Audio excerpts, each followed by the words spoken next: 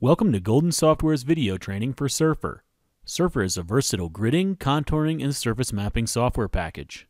In this video, I will introduce the layout and functionality of Surfer's interface. When Surfer is opened, a ribbon bar is displayed along the top of the Surfer application. The Contents window and Properties window are on the left, and the Document window is on the right. The Document window can be a plot document window, a grid editor document window, a 3D view document window, or a worksheet document window.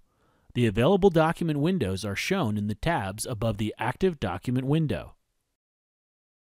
The ribbon bar always displays a file menu in addition to the tabs that contain commands, which are available for use in the active document window. The Home, Layout, Features, Grids, Map Tools, and View tabs are always available, but additional tabs can be added depending on the active document window. For example, if we click on a Grid Editor document window, a Grid Editor tab is added with additional commands for editing a grid file. And if we click on a Worksheet document window, a Data tab is added with additional commands for editing a data file. And if we click on a 3D View document window, a 3D View tab is added with additional commands for visualizing the map in three dimensions. Of the six persistent ribbon bar tabs, the Home tab contains the most frequently used commands, including commands for creating maps. The Layout tab contains alignment, page size, and position size options for setting up your page. The Features tab contains commands for drawing and editing objects like polylines, polygons, points, images, and text. The Grid tab contains commands for creating, editing, or performing calculations on a grid file. The Map Tools tab contains commands for manipulating maps and map layers, and the View tab contains commands pertaining to how the document window is displayed, such as window tiling and zoom commands. The ribbon bar can be hidden in order to increase the size of the workspace if desired. Clicking the up arrow in the upper right-hand corner of the Surfer application will minimize the ribbon bar, giving Surfer a more compact menu-style feel. The arrow changes to point down when the ribbon is compacted. Clicking the down arrow will change back to the expanded ribbon bar. The Contents window contains an ordered list of objects in the Plot or Grid Editor document window, and is an easy place to select or rearrange objects.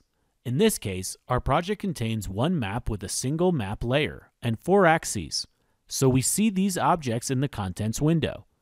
Unchecking the box next to any object will turn off the visibility of that object in the plot document window. In order to show the object again, recheck the box. The Properties window contains all editable properties for the selected object or objects. When an object is selected, it is highlighted in blue in the Contents window. The Plot document window will automatically update when a property in the Properties window is changed, and the Properties window is automatically updated when a new object is selected. The Contents and Properties windows in Surfer can be moved and shown or hidden to customize the interface. To show or hide the Contents or Properties window, click the View tab in the ribbon bar, and check or uncheck the box next to Contents or Properties in the Show Hide section. Unchecking the box will hide the window, and checking the box will show the window.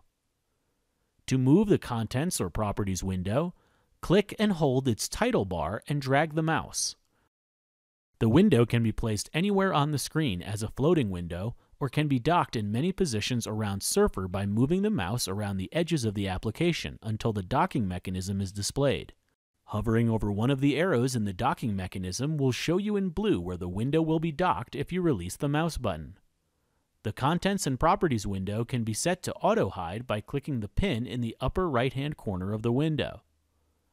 When the windows are unpinned, they hide as tabs against the side of the application they were originally docked at.